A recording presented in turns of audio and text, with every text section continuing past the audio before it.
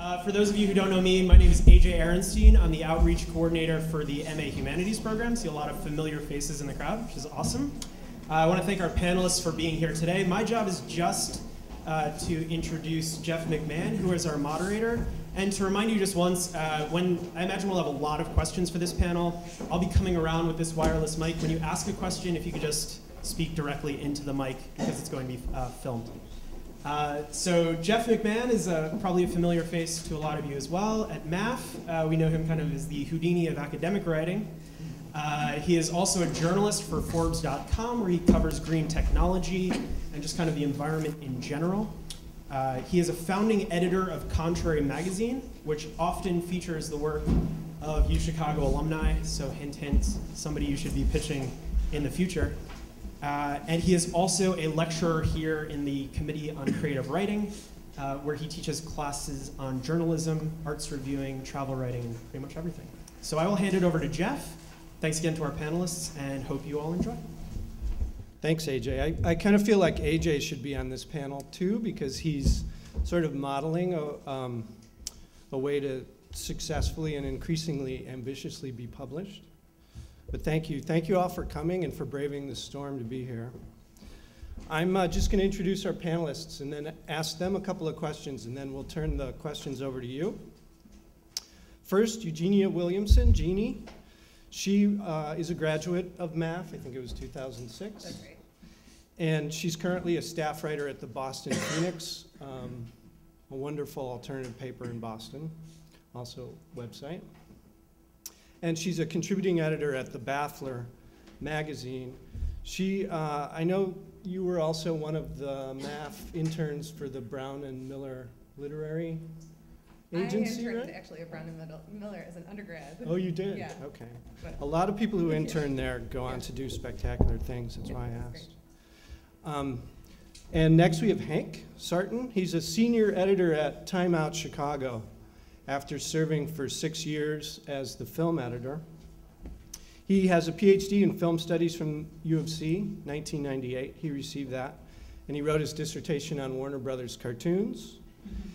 He was also, he's, Hank is my predecessor. He was uh, the writing advisor uh, for MAPH before me and also was a lecturer who taught journalism courses here. And then next we have Srikanth Reddy. Can we call you Chiku? Yeah. All right. Chiku Reddy is the author of two books of poetry Facts for Visitors, published in 2004, and Voyager, and both of those uh, were published by the University of California Press. He has a new book coming out. It's a critical study Changing Subjects Digressions in Modern American Poetry. And it's uh, forthcoming from Oxford University Press. He's an assistant professor in the English department here at U of C. And along with Janice Knight, he's one of the leaders of our Committee on Creative Writing.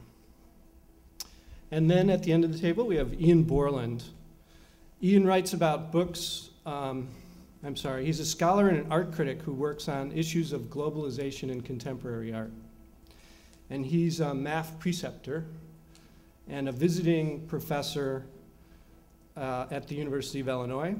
Ian was a Rubinstein Fellow in Critical Studies at the Whitney Museum in 2011, and he's written for Artforum, The Economist, The Chronicle of Higher Education, and other publications.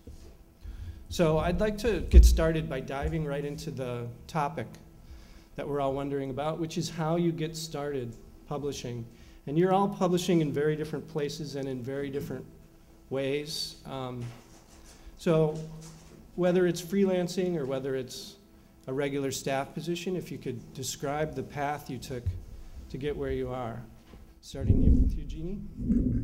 Um, well, I, I think the way you start publishing is to write for free.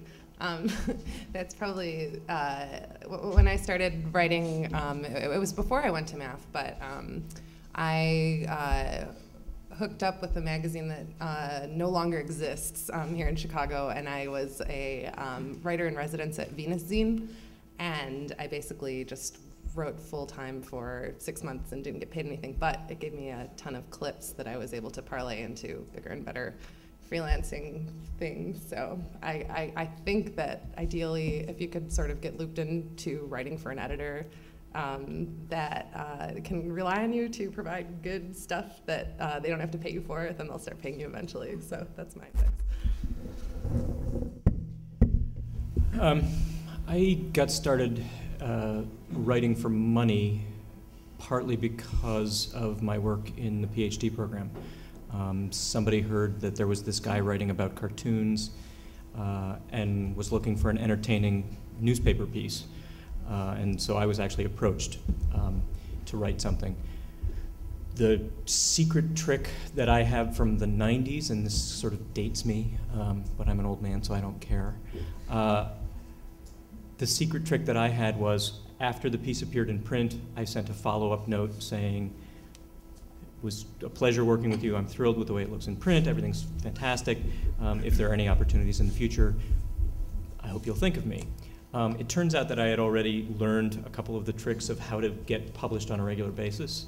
The tricks were I wrote to the assignment, I wrote the number of words they asked for, not two and a half times the number of words they asked for, which, speaking as an editor of a fair number of years now, I'll tell you, it's astonishing how often I say I need 600 words and somebody gives me 1,200 and says, it's a little bit long, feel free to cut what you need. No thanks. Um, so I wrote to length, I filed on time, uh, and I filed text that I knew was good, clean copy that didn't need a lot of editing. Uh, I had taken it to, I think, four different people I knew and respected uh, with good eyes, and they'd gone over the copy for me. And then the final trick was that I did, in fact, follow up and, and make the editor aware that I was available. Um, those tricks, I think, still work.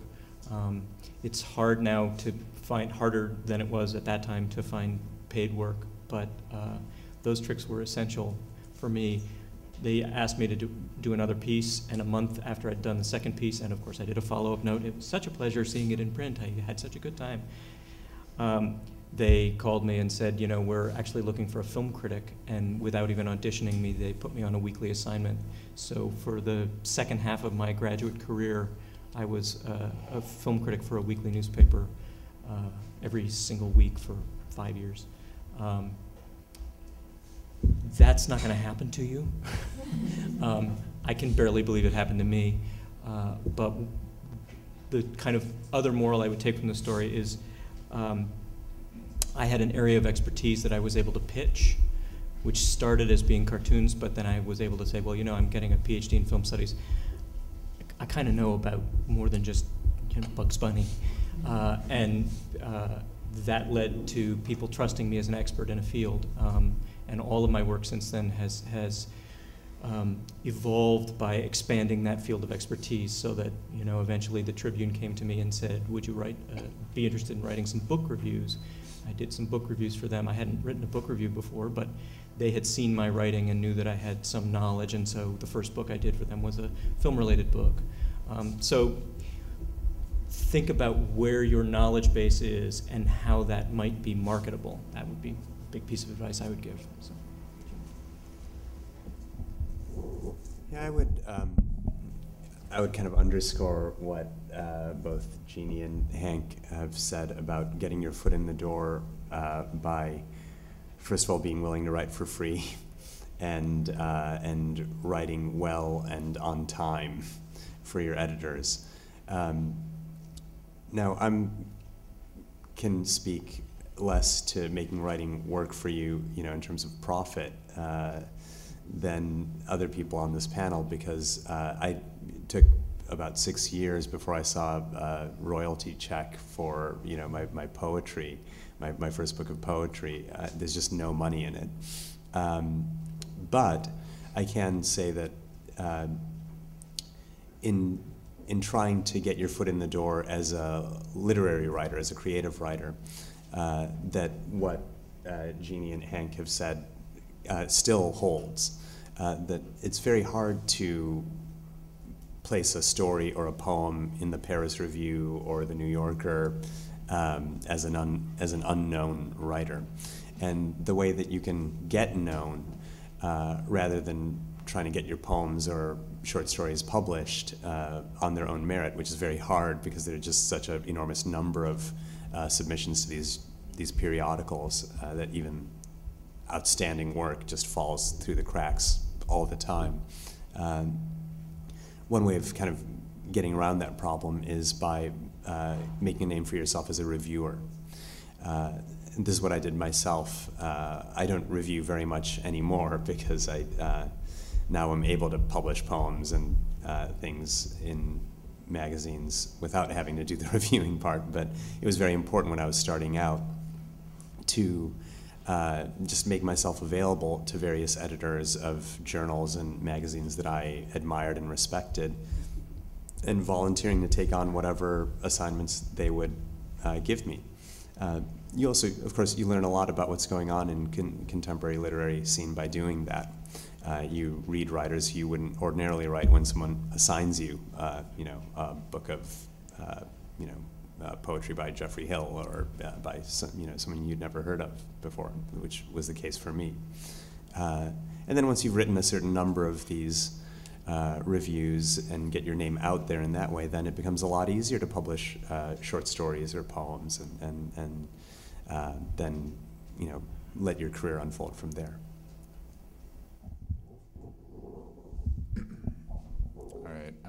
Echo and reframe basically the consensus that's growing here. Um, uh, the first thing I would say is I'm, I do more academic writing, and um, I was just getting the itch when I was uh, before I came back to Chicago and I was living in New York to have write things for an audience that people would actually read at some point. And so I didn't have any aspirations to make a living off of it uh, per se. I just wanted to reach a broader audience because academia can be a pretty lone wolf uh, activity, and even if you're celebrated in your field, that might mean six people read your work. So um, that's a slight exaggeration, but you know, kind of true. Um, so I would say though, um, from the outset, it's it, you do have to write for free or write for very little. But I also would say remember to know your worth and know the value of your time. And so be selective about who you write for free for. Um, you know, now I think I started writing on a freelance basis, and my wife was a freelance writer back in the days when you could get two dollars a word. Um, you know, and but that was also right before the crash, and now.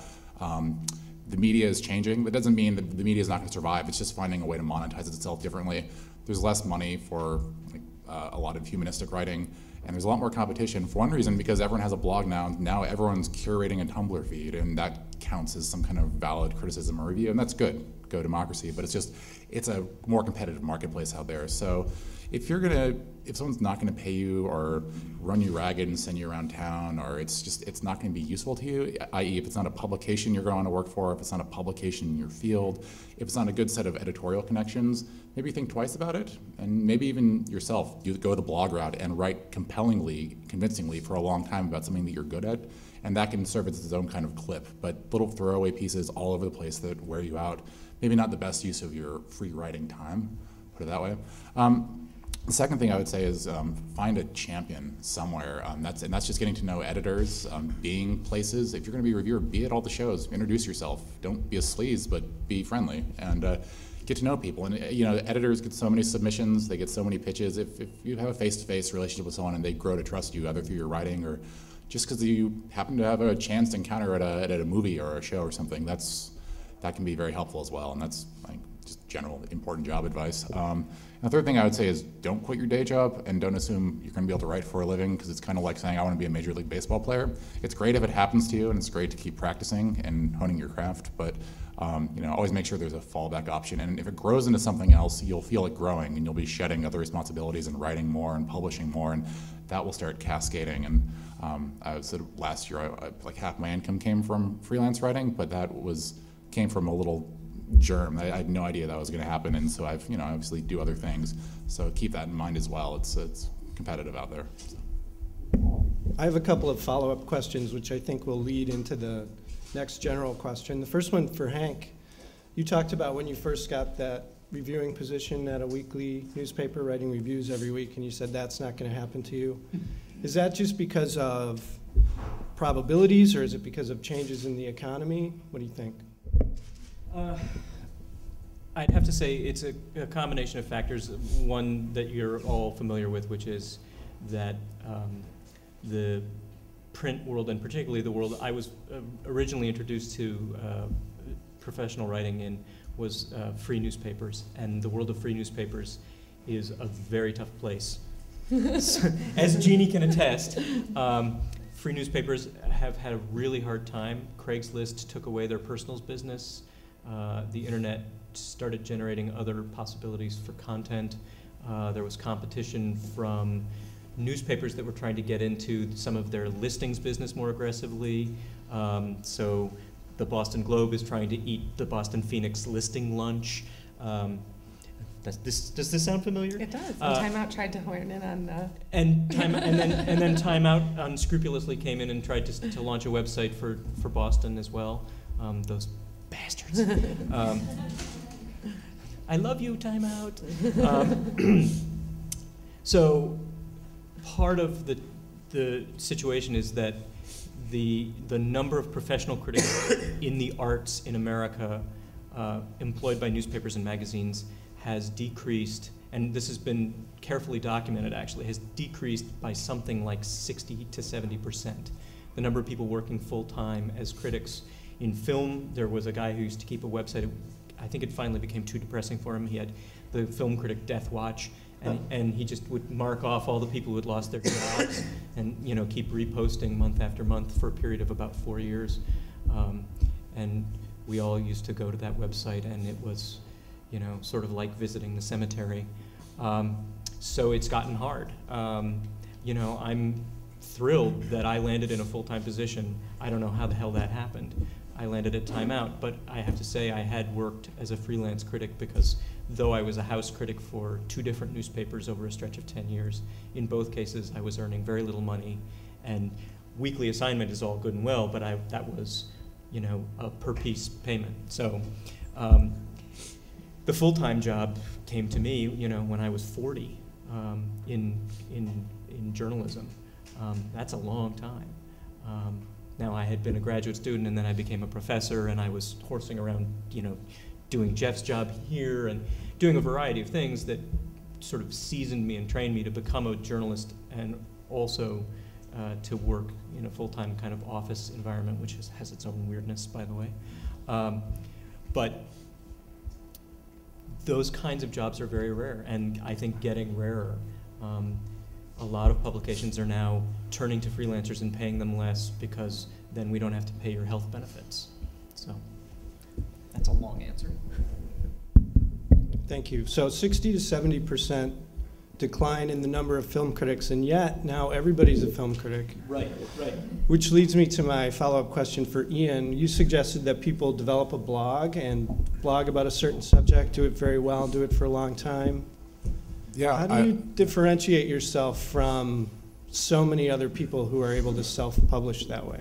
Yeah, um, being really good at it, I guess. but um, I, what I would say is uh, one thing I would have added before as well is you, particularly when you're starting, you have to have an angle because there are tens of thousands of really smart, really good writers out there, and they will work for freelance wages and might be ahead of you in the queue, you know, whatever publication you want to write for. So uh, if you have an interesting angle, it can help tremendously. Like two brief anecdotes. Um, I have a good friend who's a U of Chicago alum who's now the Wall Street Journal correspondent for all of West Africa.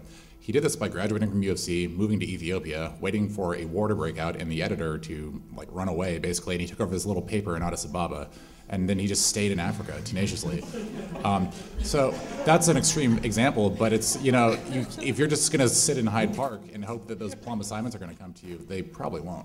Um, gone are the days where people are just going to hand you a job for being brilliant. Um, so, uh, from my perspective, I, I in New York, writing art criticism is um, a lot of people do it. There's a lot of competition, and part of it was leveraging the network of this school and then being persistent. I didn't have the clips at the time, so I wrote selectively uh, for smaller art publications as a reviewer. Nothing consistent, just here and there. Um, but I did it really well. I focused on certain kinds of art. I focused on African art, so that was an angle. Um, and then when I had that conversation again with that editor from Artforum, they said, okay, well, there's some substance here, and I've seen your previous work on a specialized topic that I have a need for. So, um, similarly, my, my first break writing for The Economist, I just happened to be in, Af- again, Africa's the theme here. I, I happened to be in Africa, and I called the editor and I said, I have a pitch for you. You turn down all of my pitches, but I'm here in this place where you don't have the manpower to send people. It's really interesting. And he said, okay, write me 10,000 words. So, it, it, so some of it's chance, some, some of it's making your own luck by putting yourself in the right place. So when it comes to a blog, uh, I, I would say if you're going to have a public presence, I know we're in the Facebook generation, but if everything we do is going to be archived on the internet in perpetuity, um, maybe try to use your internet presence in a savvy way to establish yourself as a serious expert at something and to write um, considered, thoughtful essays at about the right length between 500 and 2,000 words that you might be writing. So show the people who are looking at your work that you're useful right out of the gates. Um, and you know, be professional, be serious, be good at one thing that you're really good at, and that might be the hook that you need, particularly if you're choosing the right publications. I, I just to follow up on that, one of the things that you can do as a blogger that I think is essential is to think of yourself not as an island, but as part of a community of discourse. And one of the things that means is sometimes in your blog, and I imagine that you do this, one of the things that you can do is in your writing you can acknowledge with links that you're reading other people and those links are something that you then alert them to and they're aware that you're writing about them. They're paying attention to you as a result of the fact that you're mentioning them. Um, so you'll start a blog post and say you know um, saw a really interesting piece in, in at Artforum and you know it got me thinking about this let the person know at Artforum because otherwise, you know, basically you're just whistling in the wind. But if you do that, you're reaching out and what you're doing is acknowledging that you're writing into a community of other people interested in the same topic who someday might be looking to hire somebody. Absolutely. So that this, this is the perfect launching point for the next question for each of you, and then we'll um, go to audience questions. How has uh, the rise of digital publishing and the change in the economics of publishing affected each of you in two ways in um, the way you market your work and in the way you write, if it has. Wow, that, that that's such an easy question. Um,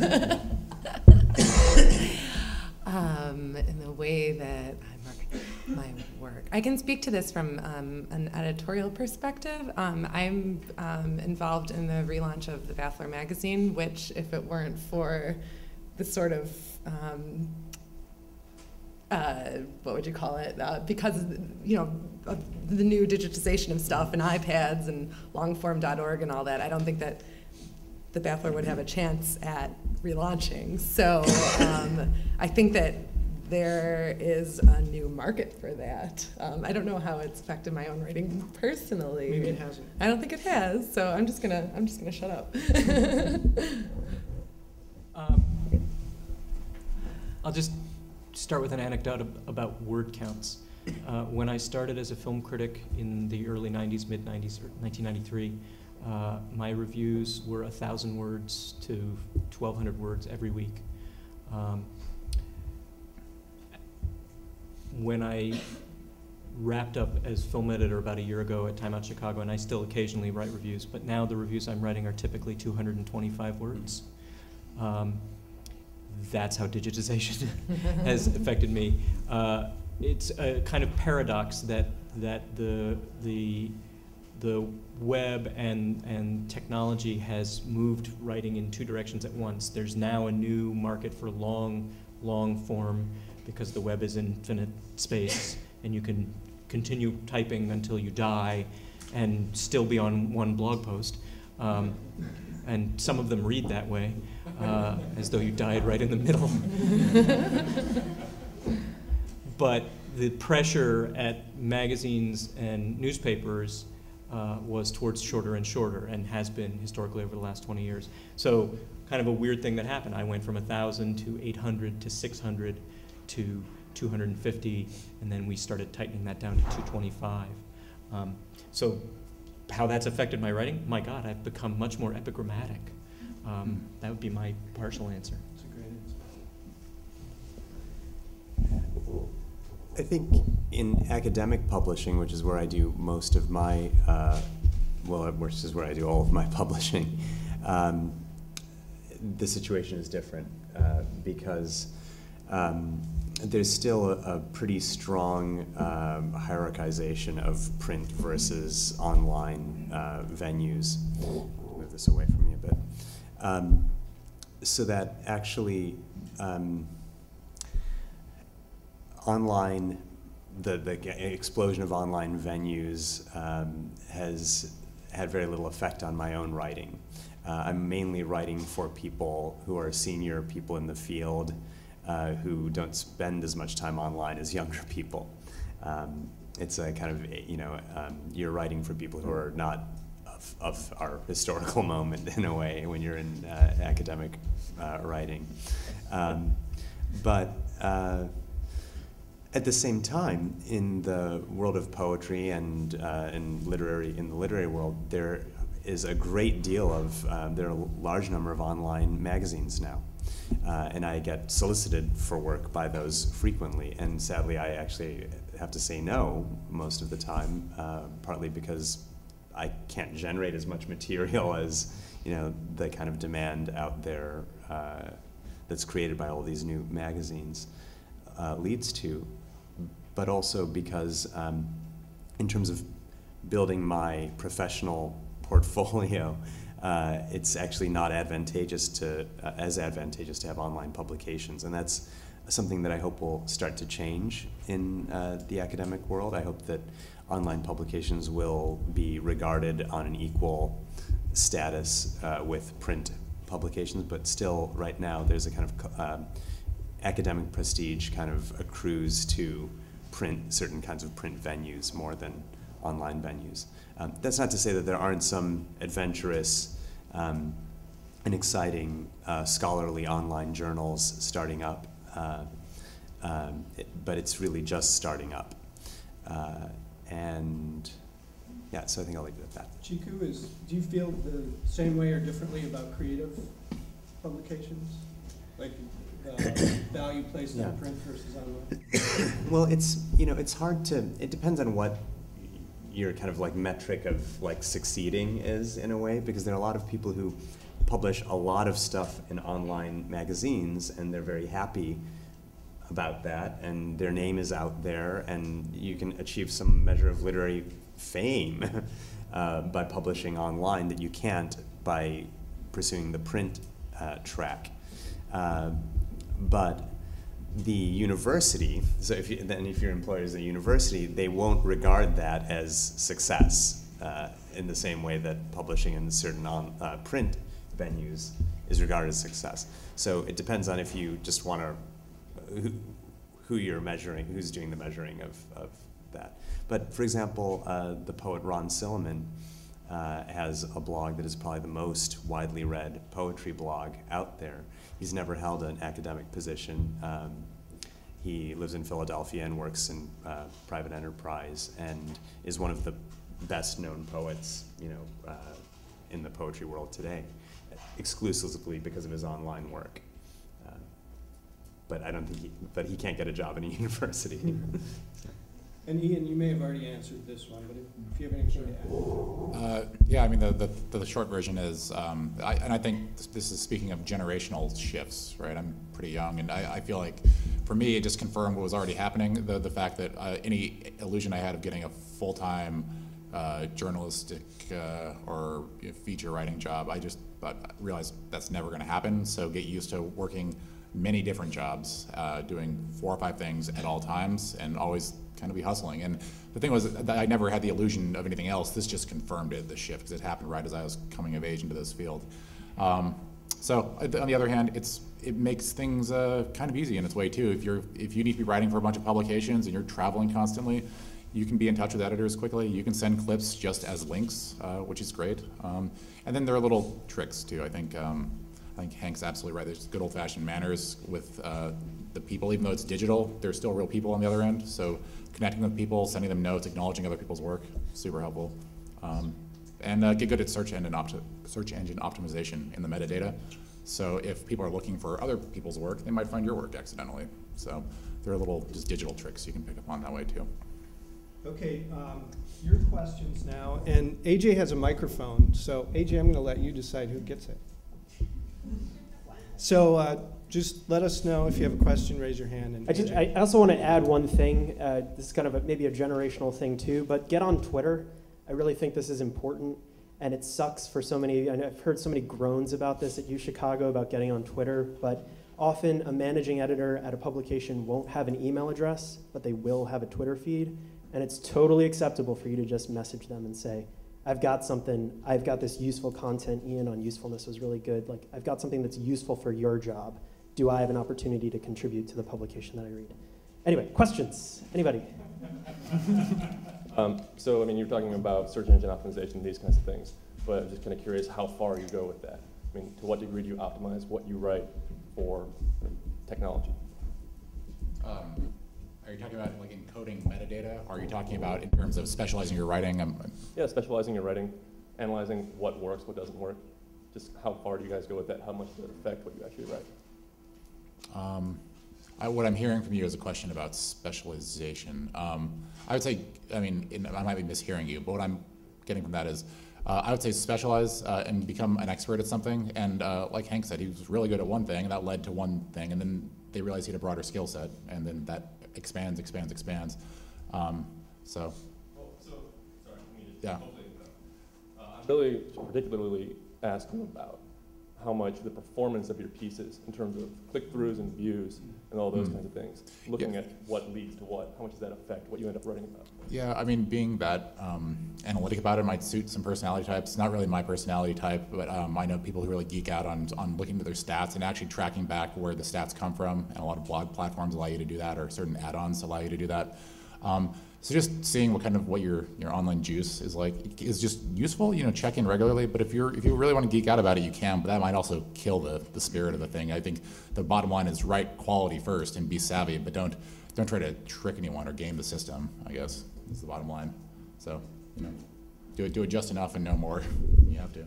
Let, let your editor worry about it. Yeah. Is that what you were going to say? I was, uh, yeah, as your editor, let us worry about it. Um, you know, part of the game, uh, speaking from the publication side, um, not thinking as the person trying to get in the door, but being the person on the other side of the door. We do a lot of stuff online that's very much focused on the thought this will get people to come to our website and stay. This is what we call sticky content. Um, some of that content to me feels sticky in a kind of different way, sort of like, you know, I'm not always proud when we have slideshow of 45 images of naked ladies reading books, because there was an event in Chicago, naked ladies reading books, and we do 45 images and it's the number one hit on our website for the month. Does that mean that Time Out Chicago is going to become, you know, the film Naked Ladies Reading Scripts section? No, thank God. Uh, we're certainly conscious that that's something that drives traffic, but we're also, you know, very much aware, and in terms of what we're thinking about from writers, we are still trying to get quality writing that's smart, but also, you know, for us has the edgy, snappy, Time Out voice. Um, but that doesn't mean you know you can smell something that's been sort of market analyzed written because it starts to sound to, to my ear and i believe me i read a lot of of these um, emails that come from publicists trying to pitch a story idea to us and they'll say you know um, the hippest hottest happeningest thing in the city today is you know crocheting clubs and and that, that crocheting club sit has a dying fall, and you think, oh, really? Is it? And then I'll go to one of my editors and say, crocheting clubs, is that a thing? Is that a buzzy thing? Are we concerned about crocheting clubs? and if we are, really? Really?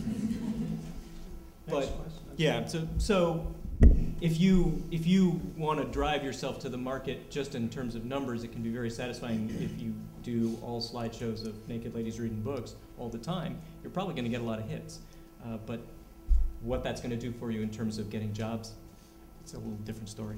So. More questions? I kind of have a question about maybe some advice you guys might have on best practices in terms of kind of not exhausting yourself too much to kind of stay in it for the long run. Um, is it something better to do shorter quality pieces every day or maybe one long quality piece each week? Is there anything you guys have an opinion about on that?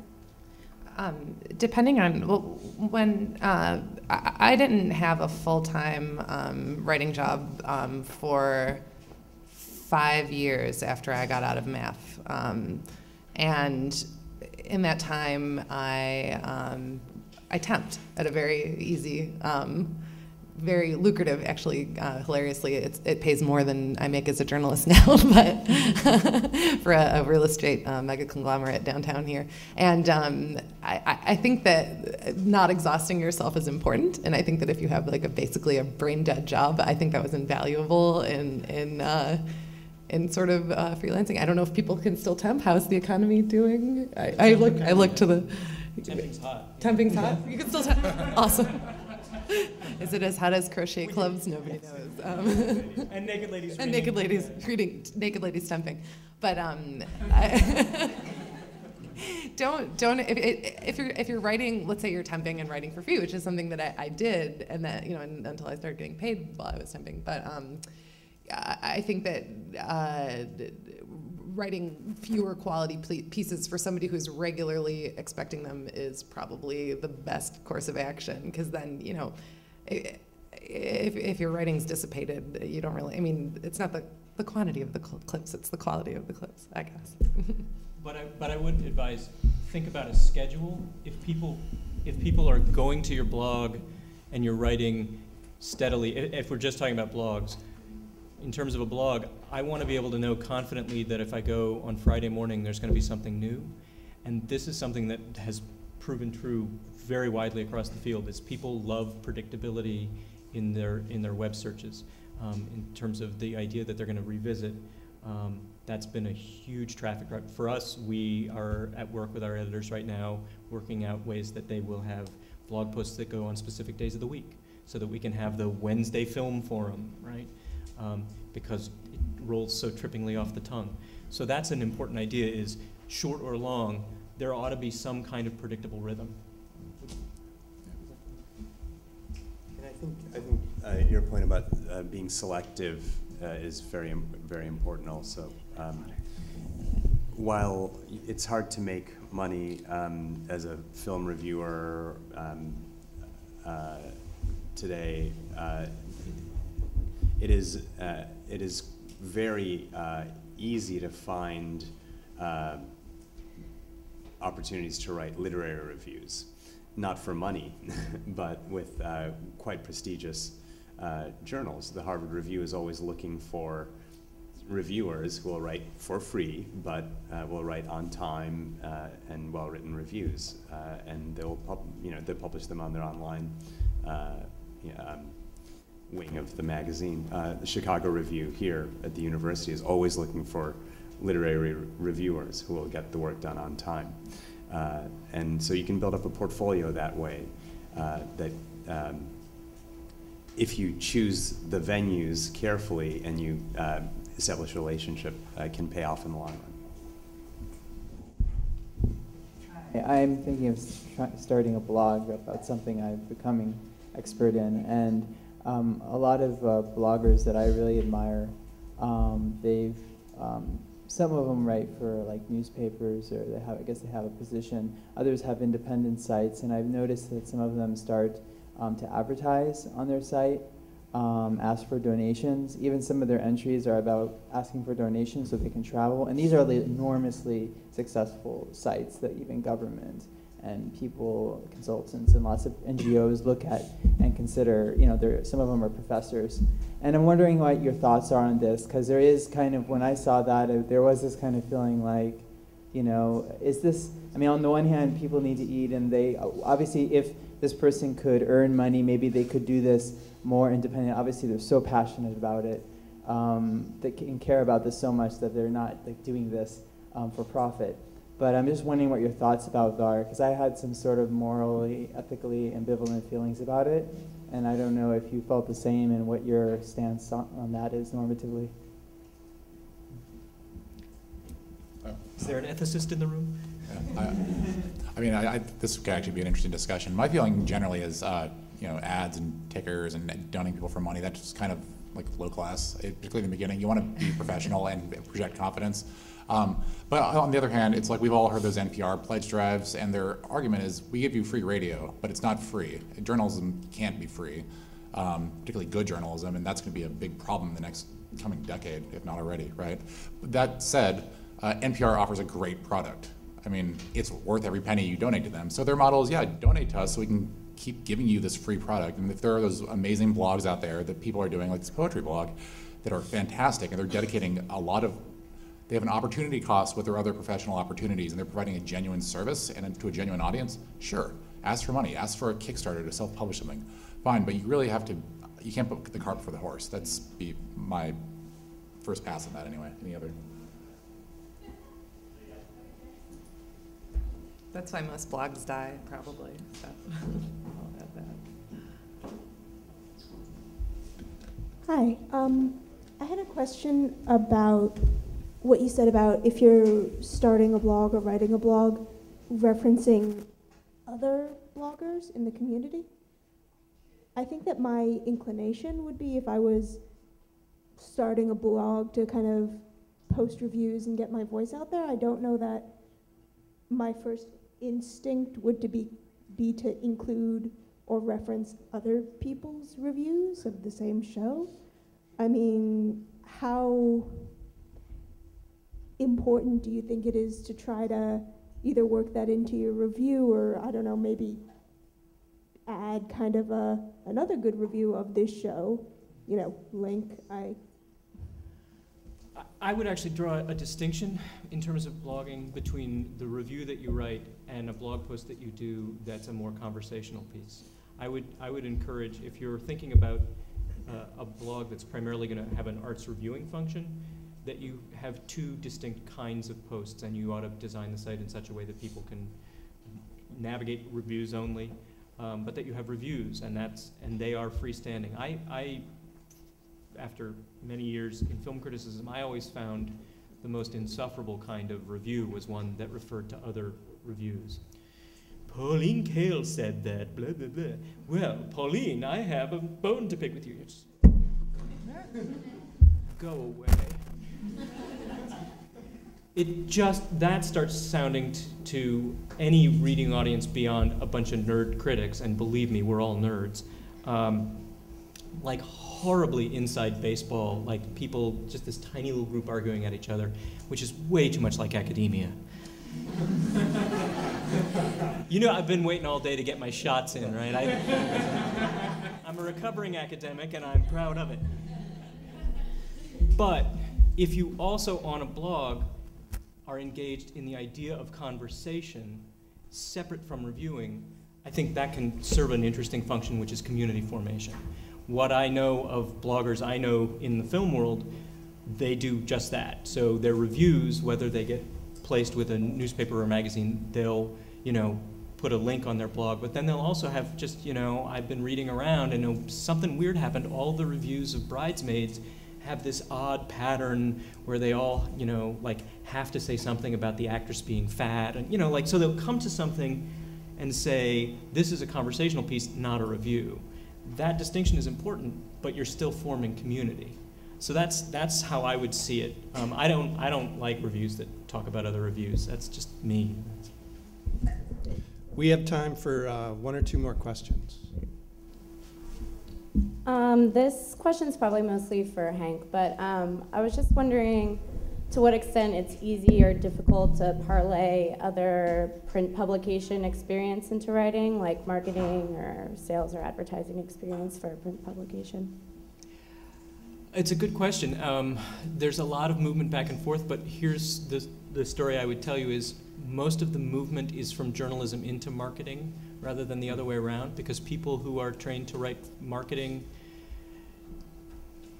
tend to have developed bad habits about reporting and about their, their writing tends to get a very promotional, positive, buzzy sound to it um, that we're, we are distrustful of on the other side of the fence.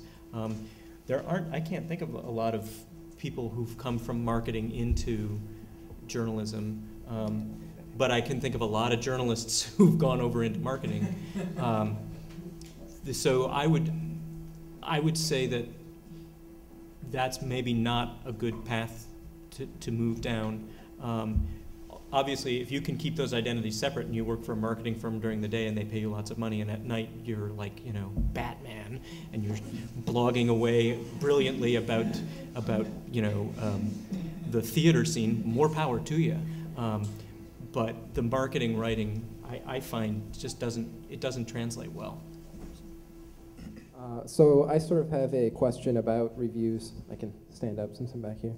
Um, I've done a little bit of like blogging reviews, and uh, personally, I'm sort of theoretically and philosophically against giving, you know, four out of five stars. That sort of very uh, quick review thing. Is that something that I might have to do sometimes if I'm getting into reviewing more professionally, or is that something that you can try to avoid?